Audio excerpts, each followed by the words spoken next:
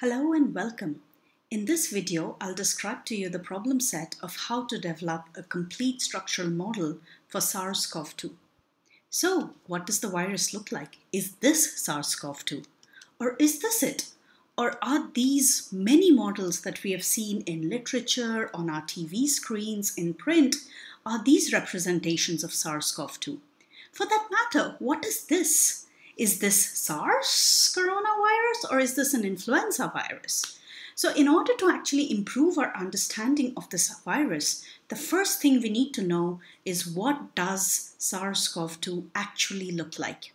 And in this problem, you will build a two-scale complete model of SARS-CoV-2 from its parts. You can think of it as all the different proteins and membranes and RNA of the virus as making up a Lego piece well, a very dynamic, fluid, not static Lego piece, but nonetheless, you can put all of these together to finally make up the full virus. So, what do we know? We actually know a lot. We know that it has this uh, positive sense RNA, which encodes for many of these structural proteins. We know there's a membrane which surrounds it. We know about the spike proteins that are embedded in the membrane. We know that the RNA is inside this membrane. The other uh, proteins that are involved, like the nucleocapsid, maybe the membrane protein, the envelope protein, and so on and so forth, right? In, in fact, there has been unprecedented scientific progress in actually characterizing many of these parts. And I've made a list of some of these parts over here. Some of them are structural models, some of them are actually modeled by different um, innovative ways. For instance, the DeepMind model from Google has been used to model the membrane protein M and so on and so forth. Uh, but we don't have all the details. For instance, we know there is a viral membrane, we just don't have a structure for it yet. Uh, we'll have to uh, come up with that part. We know, for instance, parts of the spike protein that have been structurally characterized. We still don't have uh, experimental structure for the full protein. We know there are sugar groups added to this um, protein, but again, there's no experimental model. There are several computational models, and you could um, take it from there. So, how do we approach this problem? You can think of it as an atomic scale CAD drawing. So, the first step is that you take your cryo-EM data from literature and you try to reconstruct it right?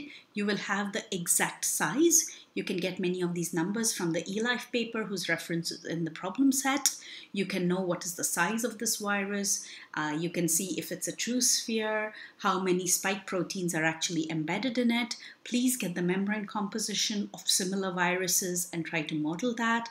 Add the proteins in the correct number as from the eLife paper onto the surface add all the other proteins that you need, the M protein, the E proteins also on the membrane as well as the proteins that are inside like the nucleocapsid, again in preferably the correct number that we have.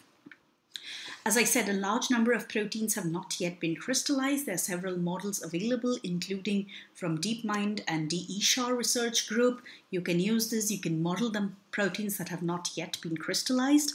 You have to decide in what resolution do you want your final model. That means, do you want to represent each and every atom like oxygen, nitrogen, or carbon? Do you want to make them into bulk set of atoms like, you know, methyl groups, hydroxyl groups? You want to make it even uh, lower resolution. So please decide a resolution for your model. And of course, uh, the entire virus need not be in the same um, resolution, but please mark it. And finally, I think the most exciting part is how will you visualize this? Traditionally, we have been visualizing it in 2D, but you could think of using a 3D model like you would have your 3D movie with your glasses, or you could even think of AR and actually representing uh, this virus. So enjoy and have fun. Thank you.